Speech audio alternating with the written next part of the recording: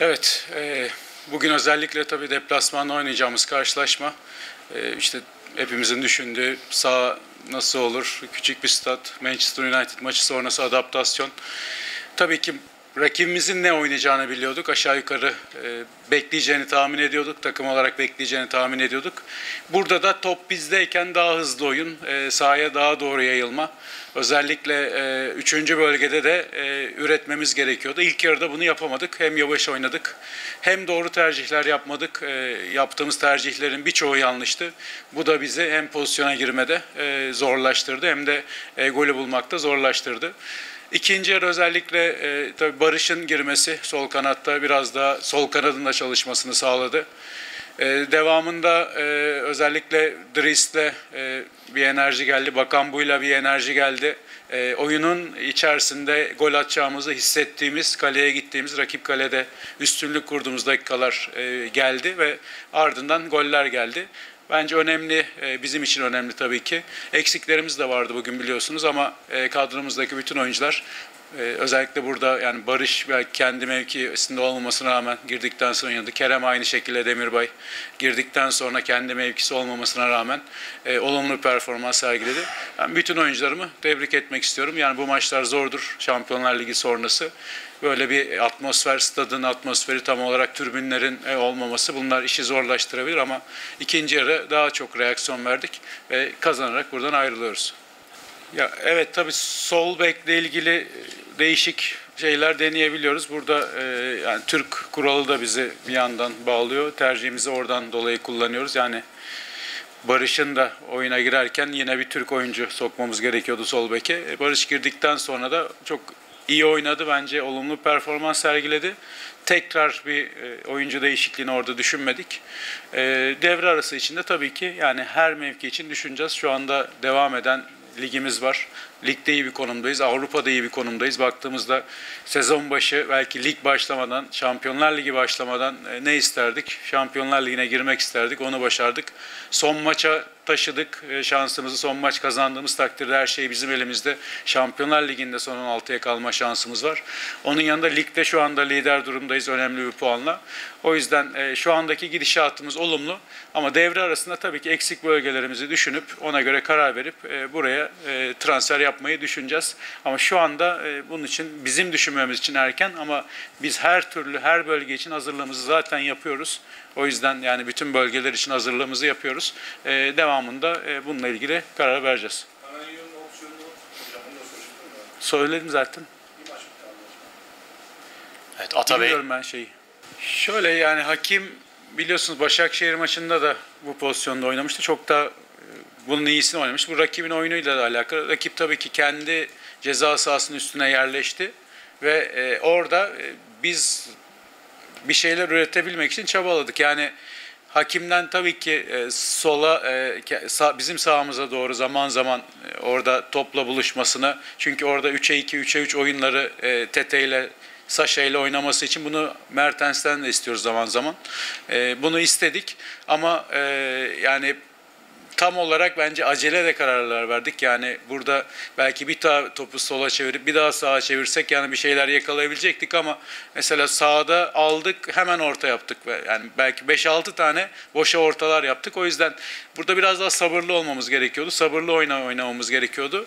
Hani oradaki e, performans olarak baktığımızda hakimi yani iki tarafta da e, aynı şekilde tekrar kullanabiliriz. E, bu maç maç rakibe göre değişiyor. Aslında bugün hakimle ilgili düşüncelerimden biri de yani maç öncesi bu maçta. Orada hem oyunu çözecek, son pası atacak, e, şutu atacak oyuncu olması.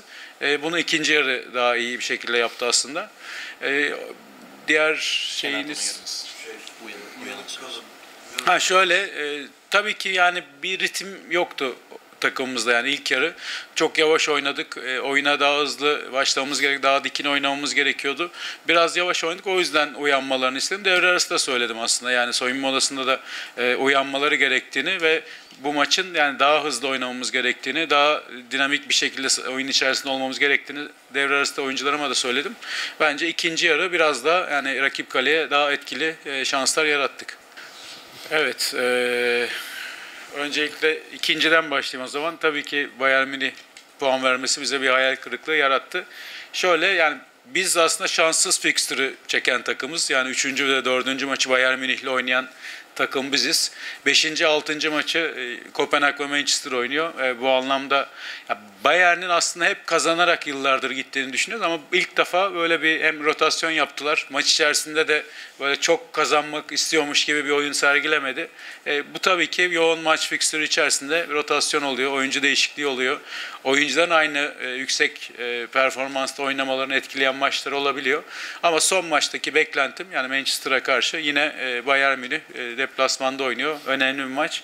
E, oradaki beklentim e, daha yüksek ama bizim amacımız tabii ki kendi maçımızı kazanıp burada e, kendi şansımızı kendimiz yaratmak ve e, orada bitirmek. E, onun yanında tabii ki yani maçın içerisinde ben de kulübeden hep kazanacağız, gol atacağız gibi maçın gittiğini gördüm. Ama rakibimizin de geçişlerden e, gol bulma şansları vardı. Biz bunu Hatay'da yaşadık iki hafta önce. Aslında yani orada da hep biz gol atacağız. Maç bizde, ayağımızda ama iki tane geçişten gol yedik ve maçı kaybettik. O yüzden yani bu ligde yine ben herkesin herkese takılabileceğini yani geçen hafta da Fenerbahçe kendi sahasında Karagümrük'e karşı zorlandı. Yani biz Hatay'da zorlandık. Ya yine e, tabii ki ligin üstünde kadrolar, ligin üstünde oyunlar ortaya çıkabilir ama çok da yoğun bir fikstürden geçiyoruz. Yani üst üste maçlar oynuyoruz. Biz üç gün önce bir maç oynadık. Çok da şiddetli maç oynadık. Buraları bizim kazanarak geçmemiz çok önemli, çok değerli. O yüzden yani takımların yorgunlukları, moral bozuklukları, sakatlıkları üst üste gelebiliyor. Bugün bizde mesela savunma bölgesinde iki tane stoperimiz yoktu ve Kaan da oyun içerisinde sakatlanınca e, zorluk yaşadık.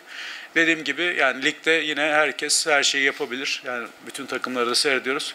Bütün takımlara da aynı şekilde saygı duyuyorum. Yani e, herkes en iyisini yapmaya çalışıyor. Tabii ki yani hepimiz söylüyoruz onu. Belki yani sokaktaki her şey- herkes yani hem hocalar söylüyor, futbolcular söylüyor, başkanlar söylüyor. Ülke puanı için kazanmamız çok önemli. Turları geçmemiz çok önemli. Bunun için de bütün takımlar çaba sarf ediyor. Bu tabii ki bazen oluyor, bazen olmuyor. E, bunun için yani bir şey diyemeyiz yoğun bir tempo içerisinde takımlar oynuyor. Dediğim gibi sakatlıklar oluyor, farklı şeyler oluyor. Ama biz üzerimize düşeni Şampiyonlar Ligi'nde e, yapmaya çalışıyoruz. Yani bence prestij anlamında e, Galatasaray takımı ben kendi açımdan yaklaşacağım. Tekrar e, yani hem oynadığımız oyunla hem stadyumumuz, seyircimiz, e, dışarıya verdiğimiz mesaj, imaj yani hepsi bence e, Galatasaray Şampiyonlar Ligi'ne bu sene lig kat, e, renk kattı ve e, devam da etmek istiyor. Yani bunu net bir şekilde ortaya koyduk. Orada devam da etmek istiyoruz. E, biz kendi üzerimize düşeni yapmak istiyoruz. Ben bütün takımların da aynı şekilde kendi üzerine düşeni yapmaya çalıştığını e, görebiliyorum net bir şekilde.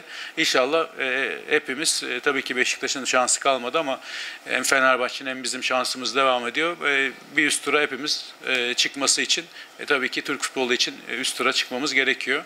E, onun yanında Erencan tabii ki önemli bir mesafe kat ediyor. Hem Pendik Spor'da Ümit Milli Takım'da da önemli goller attı Ee, ve formda bir oyuncu. Yani bugün de özellikle hızı ve hava toplarındaki özellikleriyle iyi şeyler yapmaya çalıştı. Yani özellikle bizim gibi takımlar için tehlikeli bir forvet. Ee, İnşallah o da Türk futbolu için e, ilerleyen zamanlarda önemli bir forvet olur. Ee, Biz de tabii ki takip ediyoruz. Yani birçok takım gibi belki Avrupa'dan da çok takip eden var. Ee, Genç oyuncuların bu anlamda e, ortaya çıkması e, bizi sevindiriyor tabii ki. Davinson hem top bizdeyken hem top rakipteyken önemli. Bence bugün Victor'un da iyi oynadığını düşünüyorum. E, oyun içerisinde genel olarak savunma görevleri anlamında iyi şeyler yaptı. E, Bugün özellikle top bizdeyken daha çok öne çıkmalarını, topla oyuna girmelerini istedim ama top rakipteyken de tabii önde oynayan bir takımız. Hep bunu istiyoruz. Takipleri istiyoruz. E, birebir oradaki baskıları istiyoruz. E, Davinson da bu anlamda bizim için önemli. Yani Manchester maçında çok önemliydi bizim için. Aslında o maçtan sonra onu söyledim. Yani öyle hızlı, kaliteli, e, çok hızlı bir şekilde e, savunma arkasına toplar atabilen takıma karşı ve o özellikle oyunculara olan takıma karşı çok daha önemliydi. E, Ama dediğim gibi bugün de oynayan oyuncularımız en iyisini yapmaya çalıştı. Teşekkür ediyoruz. İyi akşamlar. Teşekkürler.